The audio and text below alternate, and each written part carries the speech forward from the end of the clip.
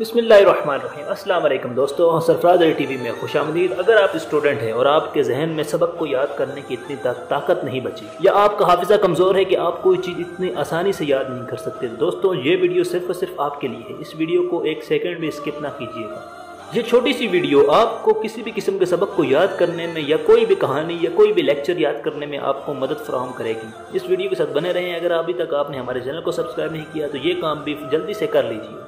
क्योंकि हम आपके लिए लाते रहते हैं इसी तरह की मालूमती वीडियोस।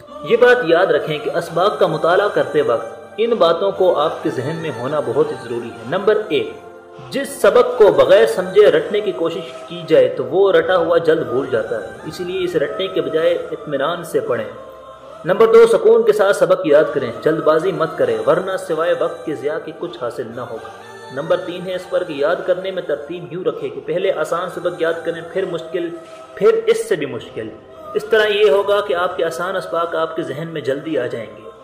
नंबर चार, इस दौरान किसी से गुफ्तु ना करें और सुकून होकर सिर्फ़ और सिर्फ़ अपने सबक पर फोकस रखें। नंबर पाँच पर है, निगाह को एक जगह रखें। इधर उधर देखते रहने से सबक याद करने में दुश्वारी होगी। साल के तौर पर आपने किताब खोल कर कोई चीज़ याद भी कर रहे हैं और इधर अपने मोबाइल को भी चेक कर रहे हैं। इस तरह से आपका सबक को याद करना नहायत ही मुश्किल होगा। नंबर छः अगर सबक याद करने में सुस्ती हो रही हो तो इसके लिए कोई ना कोई तदबीर करें। मसलन खड़े होकर सबक याद करना शुरू कर दें, या फिर जब तक सबक याद ना हो जाए, उस वक्त तक ना कुछ खाएँ, ना कुछ पिए।